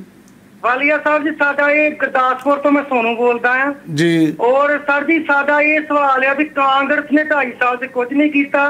ਜੀ। ਔਰ ਅਸੀਂ ਜਿਹੜੀਆਂ ਵੋਟਾਂ ਯਾਰ ਕੀ ਬੀਜੇਪੀ ਨੂੰ ਦੇਵਾਂਗੇ ਕਿਉਂਕਿ ਮੋਦੀ ਸਾਹਿਬ ਨੇ ਜੋ ਕੰਮ ਕੀਤਾ ਉਹ ਤੁਸੀਂ ਜਿਹਨੂੰ ਮਰਜ਼ੀ- ਕਾਂਗਰਸ ਨੇ 70 ਸਾਲ ਨਹੀਂ ਕੀਤਾ। ਜਿਹਨੂੰ ਮਰਜ਼ੀ ਦਿਓ ਅਸੀਂ ਕਦੋਂ ਰੋਕਦੇ ਆ ਸਾਨੂੰ ਕਿਉਂ ਦੱਸਦੇ ਹੋ? ਅਸੀਂ ਤਾਂ ਐਨਾਲਿਸਿਸ ਕਰ ਰਹੇ ਹਾਂ ਜੋ ਮਰਜ਼ੀ ਕਰੋ ਤੁਸੀਂ। ਔਰ ਮੈਂ ਇੱਕ ਵਾਰ ਫੇਰ ਆਪਣੇ ਦਰਸ਼ਕਾਂ ਨੂੰ ਕਹਾਂਗਾ ਜੇ ਤੁਸੀਂ ਫੋਨ ਕਾਲ ਕਰਨੀ ਹੈ, ਤਾਂ ਸਿਰਫ ਸਵਾਲ ਤੇ ਟਿੱਪਣੀ ਕਰੋ। ਇਹ ਕੀ ਦੱਸਣ ਦਾ ਵੀ ਅਸੀਂ ਉਹਨੂੰ ਵੋਟ ਪਾਉਣੀ ਹੈ? ਇਹ ਤੁਹਾਡਾ ਨਿੱਜੀ ਮਸਲਾ ਹੈ। ਜਿਹਨੂੰ ਮਰਜ਼ੀ ਪਾਓ, ਅਸੀਂ ਕਦੋਂ ਕਹਿੰਦੇ ਹਾਂ ਕਿ ਤੁਸੀਂ ਇਸ ਪਾਰਟੀ ਨੂੰ ਨਹੀਂ ਪਾਉਣੀ ਜਾਂ ਇਸ ਨੂੰ ਪਾਉਣੀ ਹੈ। ਸੋ ਇਹ ਸਾਰਾ ਜੇ ਆਪਾਂ ਨੈਕਸਸ ਗੁਰਦੀਪ ਸਿੰਘ ਤੁਹਾਡੀ ਗੱਲ ਸੁਣ ਕੇ ਕਰੀਏ ਤੇ ਤੁਸੀਂ ਬਾਕੀ ਪੈਨਲਿਸਟਾਂ ਨਾਲ ਸਹਿਮਤ ਹੋ ਬਿਲਕੁਲ ਮੈਂ ਸਹਿਮਤ ਕਿ। ਇਹ ਅੰਮ੍ਰਿਤਸਰ ਦੇ ਵਿੱਚ ਜਿਹੜੀ ਸਭ ਤੋਂ ਵੱਡੀ ਗੱਲ ਮੈਂ ਦੱਸਣਾ ਉੱਥੇ ਆਲ ਇੰਡੀਆ ਦੇ ਪ੍ਰੈਜ਼ੀਡੈਂਟ ਬੀਜੇਪੀ ਦੇ ਮਿਸਟਰ ਅਮਿਤ ਸ਼ਾਹ ਤੇ ਦੇਖਿਆ ਹੋਵੇਗਾ ਜਦੋਂ ਬੋਲਣ ਲੱਗੇ ਪਹਿਲਾਂ ਤਾਂ ਉੱਥੇ ਗੈਦਰਿੰਗ ਨਹੀਂ ਹੋਈ।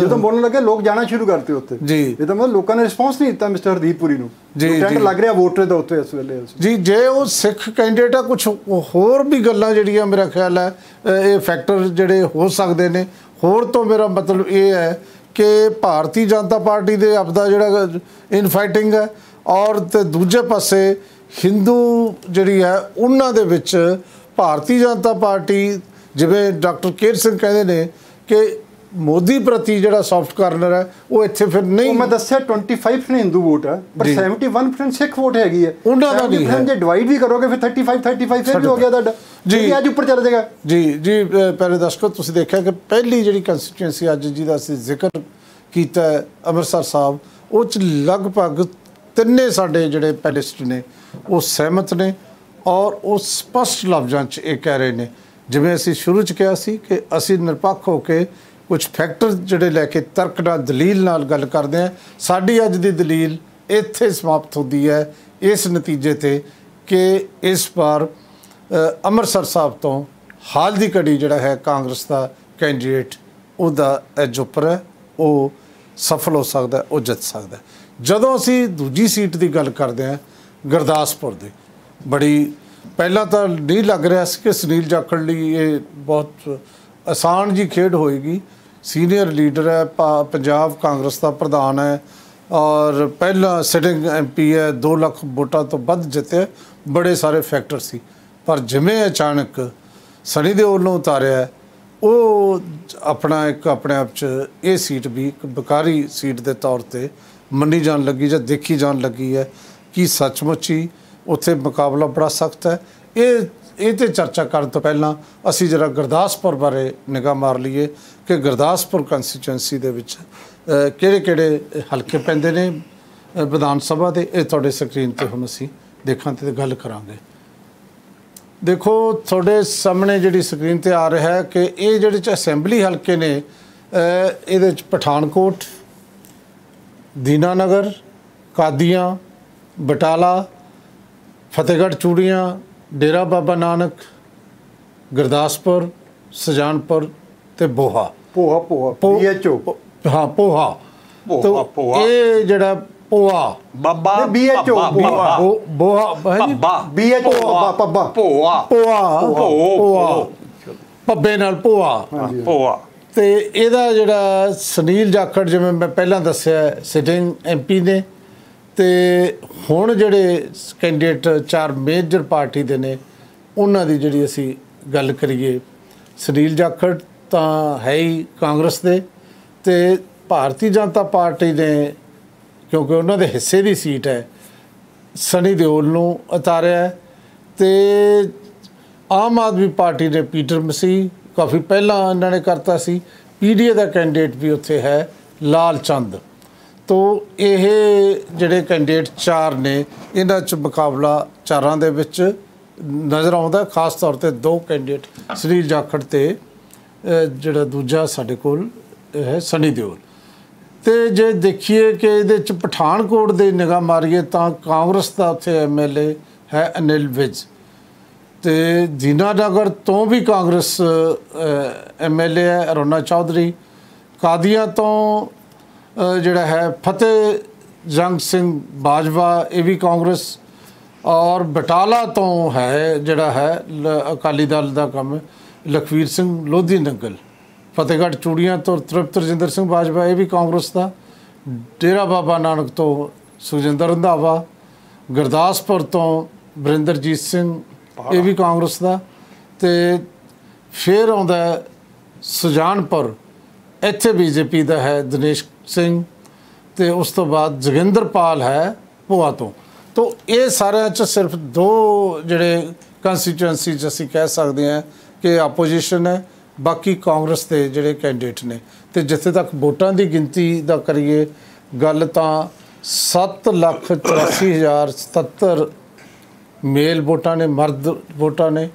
ਤੇ ਜਿਹੜੇ ਵੋਟਰ ਦੂਜੇ ਨੇ ਫੀਮੇਲ ਵੋਟਰ ਨੇ, ਉਹ ਹੈਗੇ ਨੇ 715860 ਤੇ ਨਾਲ ਜਿਹੜੇ ਥਰਡ ਜੈਂਡਰ ਉਹ ਸਿਰਫ 21 ਨੇ ਇਸ ਕੰਸਟੀਚੁਐਂਸੀ 'ਚ। ਇਹ ਕੰਸਟੀਚੁਐਂਸੀ ਵੀ ਓਵਰਆਲ ਜੇ ਆਪਾਂ ਗੱਲ ਕਰਦੇ ਆ ਅੰਮ੍ਰਿਤਸਰ ਸਾਹਿਬ ਵਾਂਗ ਕੰਸਟੀਚੁਐਂਸੀ ਦੇ ਵਿੱਚ ਜ਼ਿਆਦਾ ਗਿਣਤੀ 'ਚ ਜਿਹੜੇ ਕਾਂਗਰਸ ਦੇ ਨੇ ਜੇ ਪਿਛਲੀ ਅਸੀਂ ਜਦੋਂ ਗੱਲ ਕਰਦੇ ਆ ਜਦੋਂ ਵਿਨੋਦ ਖੰਨਾ ਕਿਸੇ ਟਾਈਮ ਇਹਦੇ 'ਚ ਜਿੱਤੇ ਸੀ ਉਸ ਤੋਂ ਬਾਅਦ ਉਹਨਾਂ ਦੀ ਡੈਥ ਤੋਂ ਬਾਅਦ ਹੋਈ ਸੀ ਜਿਹੜੀ ਜਿਮਨੀ ਚੋਣ ਜਦੋਂ ਉਹਲਾ ਆਏ ਨੇ ਉਸ ਵੇਲੇ ਉਹਨਾਂ ਨੇ ਜਾਖੜ। ਸਾਹਿਬ. ਜਾਖੜ ਸਾਹਿਬ ਆਏ ਸੀ ਹਾਂਜੀ ਤੇ ਉਸ ਵੇਲੇ ਵਿਨੋਦ ਖੰਨਾ ਨੇ 482000 ਵੋਟਾਂ ਲਈਆਂ ਸੀ 46% ਵੋਟਾਂ ਮਤਲਬ ਕਿ ਬੀਜੇਪੀ ਨੂੰ ਪਈਆਂ ਸੀ। ਤੇ ਬਾਜਵਾ ਸਾਹਿਬ ਉਦੋਂ ਸਿਰਫ 33% ਤੇ ਰਹਿ ਗਏ ਸੀ 348190 ਵੋਟਾਂ ਉਹਨਾਂ ਨੂੰ ਪਈਆਂ ਸੀ। ਤੇ ਉਸ ਵੇਲੇ ਸੁੱਚਾ ਸਿੰਘ ਛੋਟੇਪੁਰ ਇਹ ਆਮ ਆਦਮੀ ਪਾਰਟੀ ਵੱਲੋਂ ਸੀ ਕਾਫੀ ਵੋਟਾਂ ਲੈ ਗਏ ਸੀ ਤਕਰੀਬਨ 16% ਵੋਟ ਇਹਨਾਂ ਦੀ ਸੀ 173000 ਜਿਹੜੀ ਹੈ ਇਹਨਾਂ ਨੂੰ ਵੋਟ ਉਸ ਵੇਲੇ ਪੈ ਗਈ ਸੀ। ਹੁਣ ਹਾਲਾਤ ਸਰੀਰ ਜਾਖੜ ਜਦੋਂ ਆਉਂਦੇ ਨੇ, ਉਦੋਂ ਕਈ ਕਿਸਮ ਦੇ ਫੈਕਟਰ ਨਜ਼ਰ ਆਉਂਦੇ ਨੇ। ਸੁੱਚਾ ਸਿੰਘ ਲੰਗਾਹ ਦਾ ਫੈਕਟਰ ਉਦੋਂ ਵਿੱਚ ਆ ਗਿਆ ਸੀ। ਹੁਣ ਹਾਲਾਤ ਬਿਲਕੁਲ ਸਾਫ਼ ਨੇ ਤੇ ਸਨੀ ਦਿਓਲ ਆ ਗਿਆ। ਤੇ ਪਰ ਇੱਕ ਗੱਲ ਹੈ ਵੀ ਸਨੀ ਦਿਓਲ ਜਦੋਂ ਜਾਖੜ ਸਾਹਿਬ ਦੇ ਸਾਹਮਣੇ ਆਉਂਦਾ ਹੈ, ਸਨੀ ਦਿਓਲ ਦਾ ਜਿਹੜਾ ਮਜ਼ਾਕ ਉੱਡ ਰਿਹਾ ਹੈ, ਉਹ ਉਹਨਾਂ ਦੀ ਸਿਆਸੀ ਤੌਰ ਤੇ ਜਿਹੜੀ ਹੈ ਉਹਨਾਂ ਦੀ ਸਮਝ ਤੇ।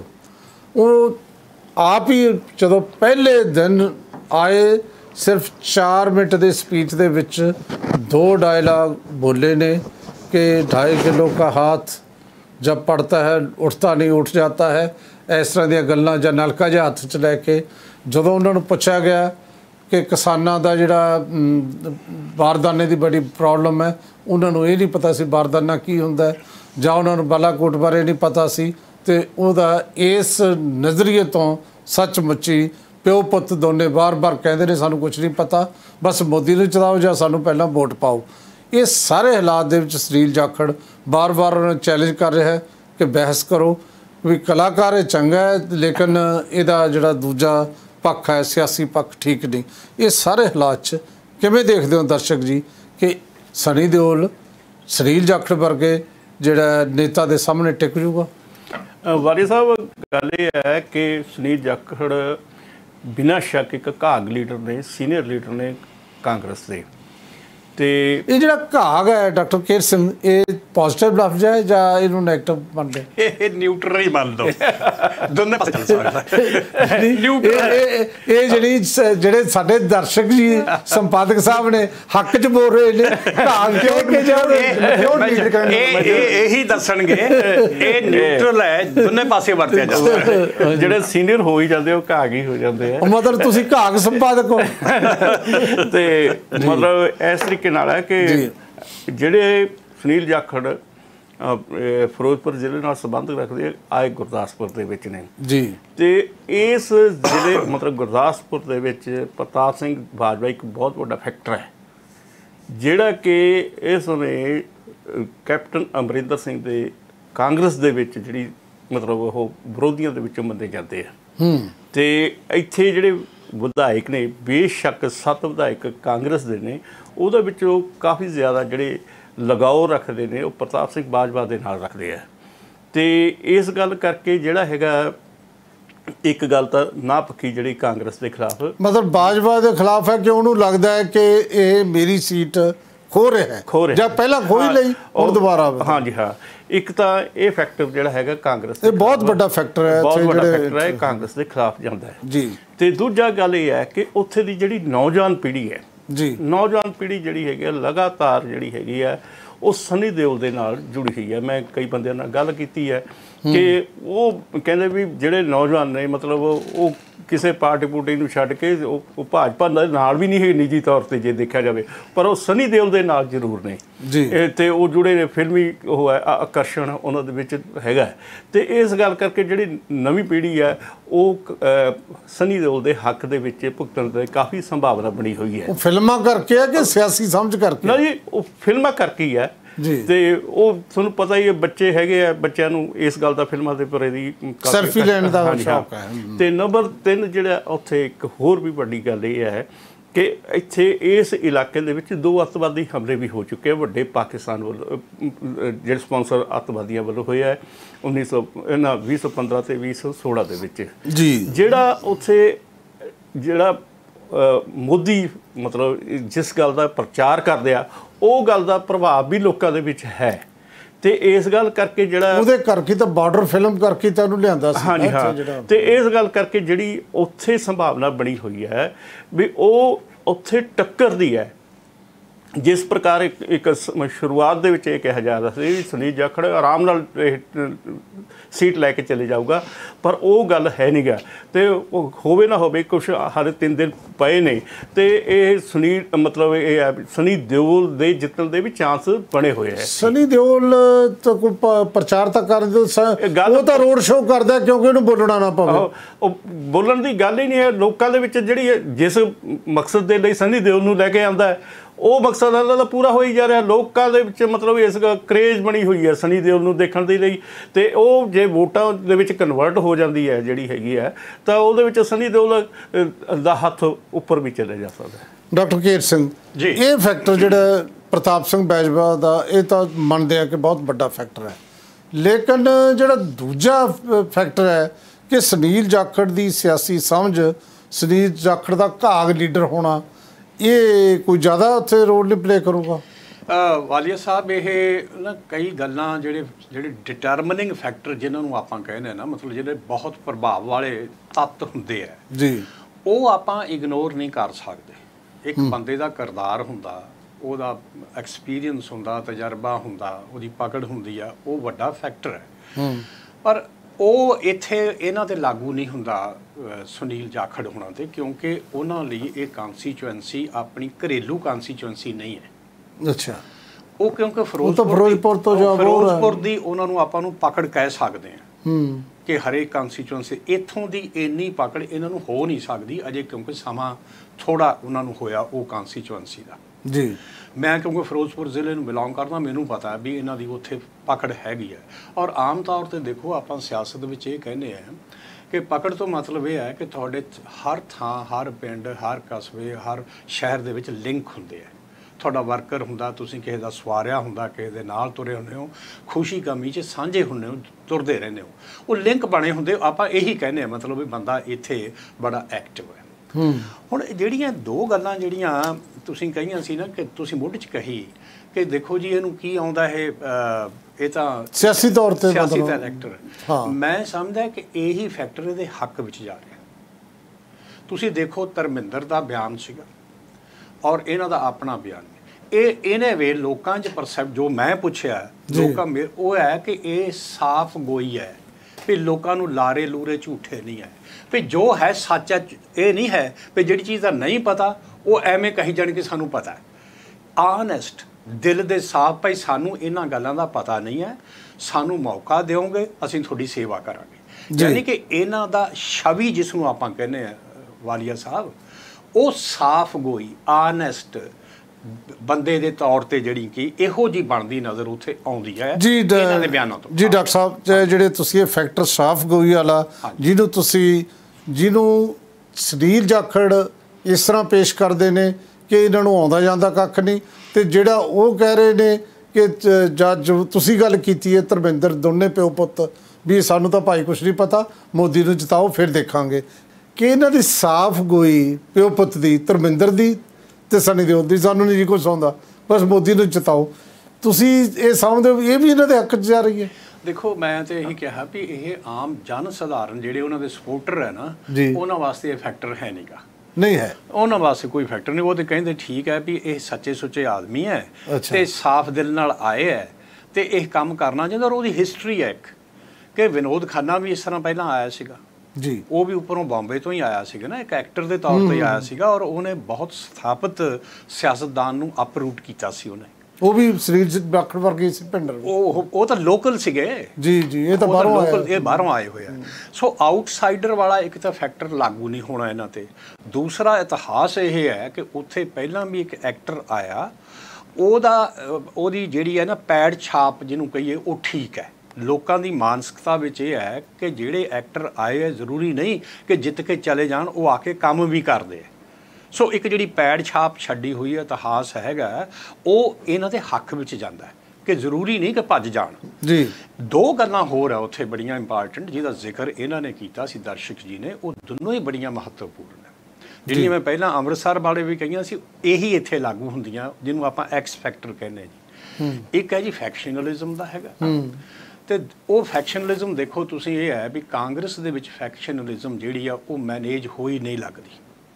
ਨਾਲੇ ਇਹ ਤਾਂ ਬਹੁਤ ਵੱਡਾ ਫੈਕਟਰ ਹੈ ਨਾ ਕਿਉਂਕਿ ਪ੍ਰਤਾਪ ਸਿੰਘ ਬਾਜਵਾ ਖੁਦ ਸੀਨੀਅਰ ਲੀਡਰ ਚਲੋ ਤੁਸੀਂ ਨਾ ਲਓ ਨਾ ਲਓ ਮੈਂ ਤੇ ਬ੍ਰੌਡ ਇੱਕ ਫੈਕਟਰ ਦੇ ਤੌਰ ਤੇ ਨਹੀਂ, ਚਲੋ, ਤਾਂ ਪਤਾ ਹੈ ਲੋਕਾਂ ਨੂੰ। ਉਹ ਚਲੋ ਉਹ ਉਥੋਂ ਦੀ ਮੈਨੇਜ ਨਹੀਂ ਹੋਈ ਲੱਗਦੀ ਜੀ ਉਥੋਂ ਦੀ ਫੈਕਸ਼ਨਲਿਜ਼ਮ ਕਾਂਗਰਸ ਦੀ। ਹੂੰ। ਬੀਜੇਪੀ ਦੀ ਉੱਥੇ ਵੱਡੀ ਫੈਕਸ਼ਨਲਿਜ਼ਮ ਉਸ ਤਰ੍ਹਾਂ ਦੀ ਨਹੀਂ ਹੈ ਜਿਹੋ ਜੀ ਅੰਮ੍ਰਿਤਸਰ ਚ ਸੀਗੀ। ਹੂੰ।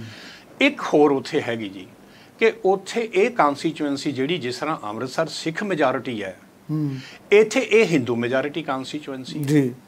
ਹਿੰਦੂ ਮੈਜੋਰਿਟੀ ਕਨਸਟੀਚੁਐਂਸੀ ਹੋਣਾ ਔਰ ਕਾਂਗਰਸ ਦੇ ਵਿੱਚ ਫੈਕਸ਼ਨਲਿਜ਼ਮ ਹੋਣਾ ਇਹ ਗੱਲਾਂ ਲਿਆ ਕੇ ਦੋਨਾਂ ਕੈਂਡੀਡੇਟਸ ਦੇ ਵਿੱਚ ਗਹਿ ਗੱਡਵੀਂ ਲੜਾਈ ਦੇ ਵਿੱਚ ਆ ਗਏ ਜਿਹੜੇ ਪਹਿਲਾਂ ਲੱਗਦਾ ਸੀ ਨਾ ਹੂੰ, ਵੀ ਉਹ ਬੜਾ ਸੌਖਾ ਗੱਲ ਹੀ ਹੈ। ਨਹੀਂ ਕੋਈ ਸਮੱਸਿਆ ਹੀ ਨਹੀਂ ਹੈ। ਇਸ ਵੇਲੇ ਜਿਹਨੂੰ ਕਹਿ ਸਕਦੇ ਆ ਕਿ ਜਿਸ ਤਰ੍ਹਾਂ ਦਰਸ਼ਕ ਉਹਨਾਂ ਨੇ ਕਿਹਾ ਕਿ ਇਹ ਓਪਨ ਗੇਮ ਹੈ।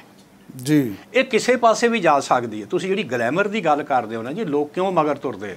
ਫਾਰ ਐਗਜ਼ਾਮਪਲ ਹੁਣ ਪ੍ਰਿਯੰਕ- ਪ੍ਰਿਯੰਕਾ ਹੈ। ਪ੍ਰਿਯੰਕਾ ਕੋਈ ਸਿਆਸਤਦਾਨ ਦੇ ਤੌਰ ਤੇ ਉਹਦੀ ਥੋੜੀ ਹੈ। ਉਹ ਵੀ ਤੇ ਗਲੈਮਰ ਦੇ ਤੌਰ ਤੇ ਹੀ ਹੈ ਨਾ। ਇੱਕ ਪਰਿਵਾਰ ਦੇ ਵਿੱਚ ਗਲੈਮਰ ਹੈ। ਹੁਣ ਬਠਿੰਡੇ ਆਈ ਇਕੱਠ ਹੋਇਆ ਹੋਰ ਥਾਂ ਗਈ ਇਕੱਠ ਹੋਇਆ ਇਹ ਗਲੈਮਰ ਵਰਤਿਆ ਜਾਂਦਾ ਹੈ। ਤੇ ਜੇ ਗਲੈਮਰ ਉਹ ਬੀਜੇਪੀ ਵਾਲੇ ਵਰਤ ਰਹੇ ਤੇ ਕਾਂਗਰਸ ਵਾਲੇ ਵੀ ਵਰਤਣ ਦੀ ਕੋਸ਼ਿਸ਼ ਕਰ ਰਿਹਾ ਕਿਹਦਾ ਜ਼ਿਆਦਾ ਭਾਰੂ ਹੁੰਦਾ? ਬਿਲਕੁਲ ਇਹ ਸਮਾਂ ਦੱਸੂ। ਸਿਆਸਤ ਹਮੇਸ਼ਾ ਸ਼ੌਹਰਤ ਨੂੰ ਵਰਤਦੀ ਹੈ। ਗੁਰਦੀਪ ਸਿੰਘ ਜੀ। ਦੋਨੇ ਪੈਨਲਿਸਟਾਂ ਨੂੰ ਸੁਣ ਲਿਆ।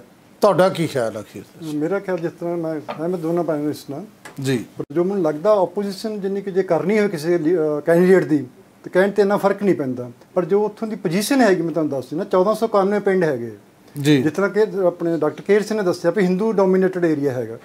ਉਹਦੇ ਵਿੱਚ 45% ਜਾਂ 46% ਜਿਹੜੀ ਵੋਟ ਹੈ ਹਿੰਦੂ ਡੋਮੀਨੇਟਡ ਹੈਗੀ ਆ। 42% ਜਿਹੜੀ ਸਿੱਖ ਡੋਮੀਨੇਟਡ ਪਿੰਡਾਂ 'ਚ ਵੀ ਮਤਲਬ ਹਿੰਦੂ ਪਿੰਡਾਂ ਵਿੱਚ ਜਿਹੜੇ ਹੁਣ ਚਾਰ ਹਲਕੇ ਹੈ ਤੁਹਾਡਾ ਡੇਰਾ ਨਾਨਕ ਹੈ ਫਤਿਹਗੜ੍ਹ ਚੂੜੀਆਂ ਹੈ ਕਾਦੀਆਂ ਹੈ and half of the Gurdaspur ਕਰ ਲਓ ਤੁਸੀਂ ਬਟਾਲਾ ਹੈ ਉਹਦੇ ਵਿੱਚ। ਉਹ ਚ ਮੈਜੋਰਟੀ ਸਿੱਖਾਂ ਦੀ ਹੈ। ਉਧਰ ਵੋਟ ਦੀ ਜਿਹੜੀ ਹੈਗੀ ਆ ਉਹਦੀ ਡਿਵੀਜ਼ਨ ਹੋਣੀ ਉਹਦੇ ਵੋਟ ਦੇ ਵਿੱਚ।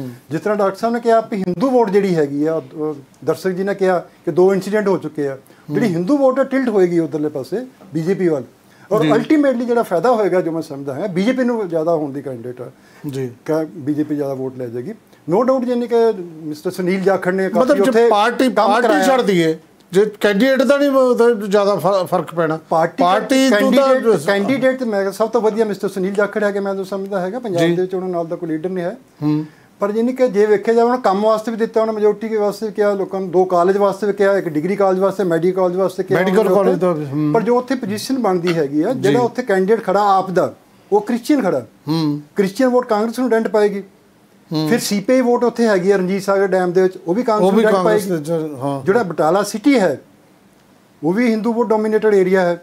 ਜਿਹੜਾ ਬਾਕੀ ਉੱਪਰੀਆਂ ਤੁਹਾਡੀ ਚਾਰ ਕਨਸਟੀਚੁਐਂਸੀਜ਼ ਹੈਗੀਆਂ ਉਹ ਸਾਰੀ ਹਿੰਦੂ ਡੋਮੀਨੇਟਡ ਕਨਸਟੀਚੁਐਂਸੀ ਹੈਗਾ। ਜਿਸ ਤਰ੍ਹਾਂ ਦਰਸ਼ਨ ਨੇ ਕਿਹਾ ਇਨਕਮ ਇਹਦਾ ਮਤਲਬ ਜਿਹੜੀ ਦੇਖੋ ਨਾ ਜੇ ਪੀਡੀਏ ਦੀ ਵੋਟ ਵੀ ਜਾ ਰਹੀ ਹੈ ਕਿਉਂਕਿ ਉਹ ਸੀਪੀਆਈ ਦੀ ਵੋਟ ਹੈ. ਉਹ ਵੀ ਕਾਂਗਰਸ ਦੇ ਵਿੱਚ ਦੂਜੀ ਬੀਸੀਐਫ ਬੀਐਸਪੀ ਦੀ ਵੀ ਵੋਟ ਉਧਰ ਜਾਣੀ ਹੈ.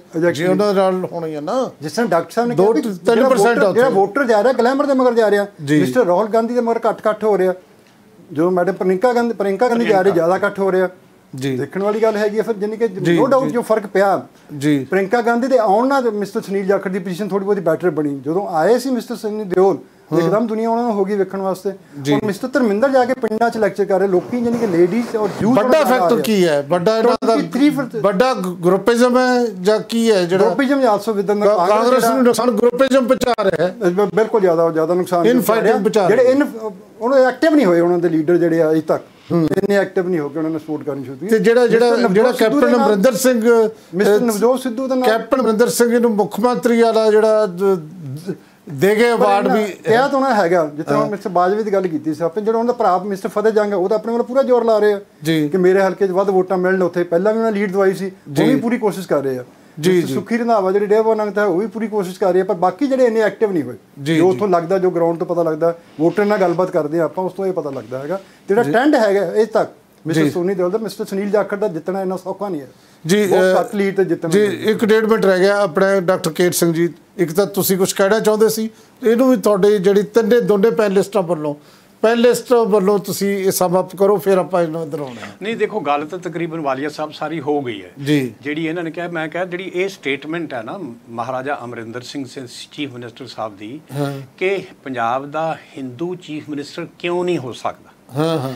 ਇਹ ਉਥੋਂ ਦੀ ਪਾਪੂਲੇਸ਼ਨ ਨੂੰ ਧਿਆਨ ਵਿੱਚ ਰੱਖ ਕੇ ਗੱਲ ਕੀਤੀ ਗਈ ਹੈ। ਤੁਹਾਨੂੰ ਤਾਂ ਐਗਜ਼ੈਕਟਲੀ ਮੈਂ ਸਿਰਫ ਇਹੀ ਐਡ ਕਰਨਾ ਚਾਹੁੰਦਾ ਬਾਕੀ ਫੈਕਟਰ ਇਹੀ ਮੈਂ ਕਿਹਾ ਨਾ ਵੀ ਜਦੋਂ ਮੁੱਖ ਮੰਤਰੀ ਵਾਲਾ ਕਹਿੰਦੇ ਨੇ ਤੇ ਉਹ ਤਾਂ- ਉਹਨਾਂ ਨੂੰ ਕਰ ਰਹੇ ਨੇ। ਮੇਰਾ ਤਾਂ ਉਸ ਕਨਸਟੀਚੁਐਂਸੀ ਬਾਰੇ ਇਹ ਹੈ ਕਿ ਇਟ ਇਜ਼ ਐਨੀਬਾਡੀਜ਼ ਗੇਮ ਕੋਈ ਵੀ ਜਿੱਤ ਸਕਦਾ। ਜੀ। ਇਹ ਓਪਨ ਹੈ। ਮੇਰੇ ਮੁਤਾਬਕ ਉਹਦੇ ਜੇ ਕਹੀਏ ਵੀ ਇਹਦਾ ਐਜ ਹੈ ਉਹਦਾ ਐਜ ਹੈ। ਮੈਨੂੰ ਕੋਈ ਐਜ ਨਜ਼ਰ ਨਹੀਂ ਆ ਰਿਹਾ।